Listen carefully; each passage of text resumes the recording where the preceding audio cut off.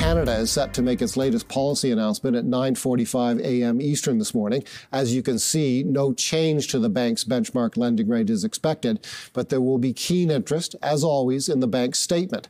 Some bank watchers expect the BOC to signal that rate cuts are likely later this year. The fixed income market, meanwhile, currently sees a 79% chance of a rate cut on June the 5th, and if no cut comes on that day, believes a cut on July 24th is a lock. There will be lots to digest today. The bank will also release its monetary policy report, a lengthy analysis of the state of the Canadian economy, and will hold a news conference at 10:30 a.m. Eastern Time. BNN Bloomberg will provide complete coverage of the day's events, of course. In the meantime, let's go to our featured guest of the morning. He's Allan Small, Senior Investment Advisor at Allan Small Financial Group, IA Private Wealth. Allan, first of all, welcome to the show, as always. Thanks for having me. What do you think the bank will do? There are increasing uh, forecasts from economists that we're going to see a dovish tilt in the in the language. That that paragraph in the statement that uh, tends to serve as forward-looking guidance. Yeah, I think everyone is expecting more of a dovish tone. Obviously, we've seen uh, obviously the last jobs report was was not a good one. Uh, at the same time, uh, GDP actually is picking up a little bit the first couple of months, and so I think there's a bit of a, I guess, a push and pull. You know, I think the, the Bank of Canada can afford to perhaps wait a little longer because of the, the GDP growth for the first couple of months of the year, but at the same time, we're seeing inflation coming down 2.8 percent. Jobs uh, for the month, for the most recent number uh, for the recent month was uh, obviously there were no jobs growth. So I think there's a, a bit of a push and pull, and I think that the Bank of Canada can still, I think, maintain their their uh, a bit more of a dovish tone, but at the same time, they can afford to wait a little longer. So whether it's June, whether it's July. I don't think it really matters a whole lot. At the end of the day, I think Bank of Canada will move. The question is, will they go three times? Will they go twice? Maybe once?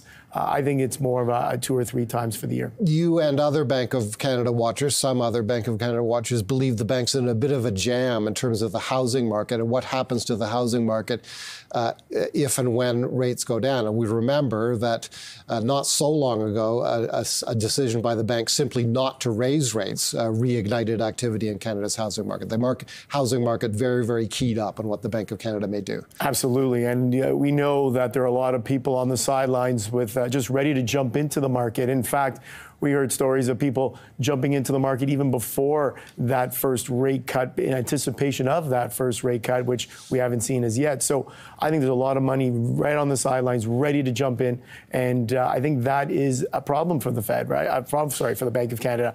You know, we don't want to see housing prices continue to rise.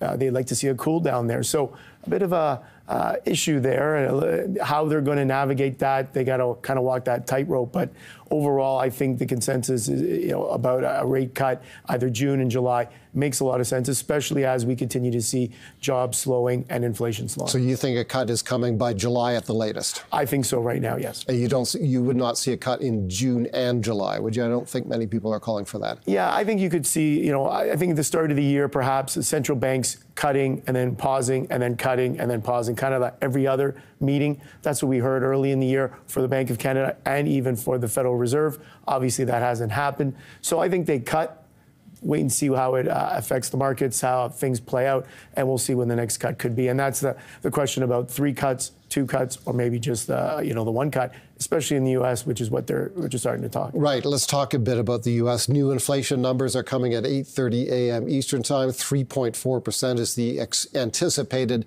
uh, annual pace of inflation growth in the U.S. during the month of uh, March. A number uh, out of sync with that number could shift uh, markets. Currently, uh, the fixed income market sees a Fed rate cut coming on the final day of July. What do you think? Again, that's a tough one because we are seeing elevated inflation. Uh, the last uh, inflation numbers were, uh, they came in slightly below. The Fed looks at more of the core uh, inflation uh, data. Obviously, recently we've seen commodity prices tick higher, energy prices move higher. So I think the, the Fed's going to look at it on the core side more so, expecting just a slight uh, drop in, in core inflation. So, uh, with that, I think once again, because of the economy being as strong as it is in the U.S., GDP growth two and a half, three percent in that range for, for the first quarter of this year. Again, they can afford to wait longer to see more data, to receive more data before they start their cuts. And the question again three cuts, two cuts, or maybe just one.